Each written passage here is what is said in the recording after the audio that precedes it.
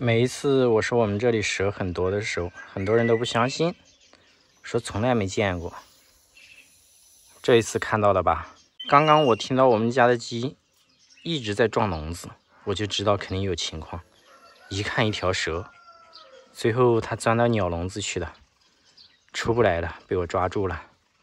很多人不是一直想看它是单眼皮还是双眼皮吗？来，给你们看一下。哎，好像是单眼皮，拿去放生了吧？这一条蛇还挺大的，在我们这边叫菜花蛇。蛇是保护动物，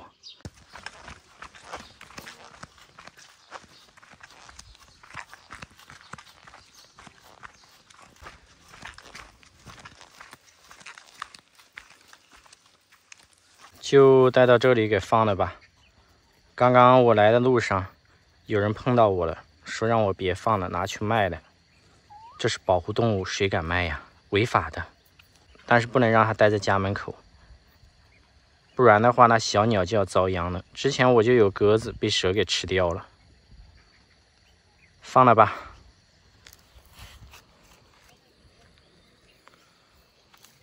去吧。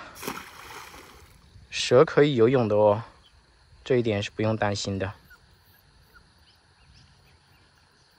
上岸了，刚刚就在这里发现的。这是我养的鸡，应该是可以吃鸡肉了。蛇是吃不了它们的，我不用担心。但是这一只小竹鸡，它可是吃得了的，已经长这么大了，过一段时间就可以放生了。还是先把这个家伙关起来，再大一点就可以放生了。躺在我手上睡觉了嘞，嘿嘿。还挺乖的，现在小兔子就不用担心，蛇吃不了它。你在外面溜达的时候也小心猫狗还有蛇啊。这个是贝贝二驴的同款，前几天别人送的，送的时候都这么大，别人不想养了，觉得这玩意儿是个造粪机，能吃能拉的，我就接手了，准备放养。贝贝二驴没有放生，就把你给放生了吧，因为贝贝二驴。不怕人，又会说话，放生的估计也会被人抓走。这一只已经放养好几天了，目前情况还挺好的，饿了就知道飞回来。嘿嘿，还挺乖的。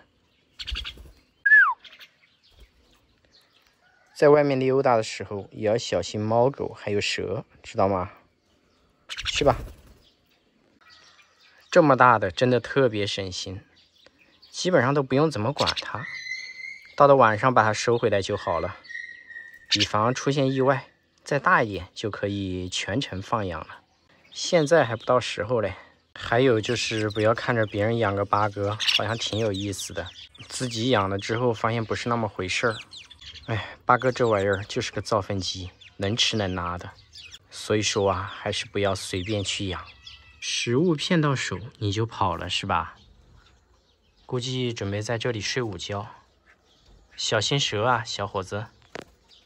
来抚摸一下你，吃饱了就特别怕我。好，不管它了。其实，在农村挺好的，就是蛇太多了。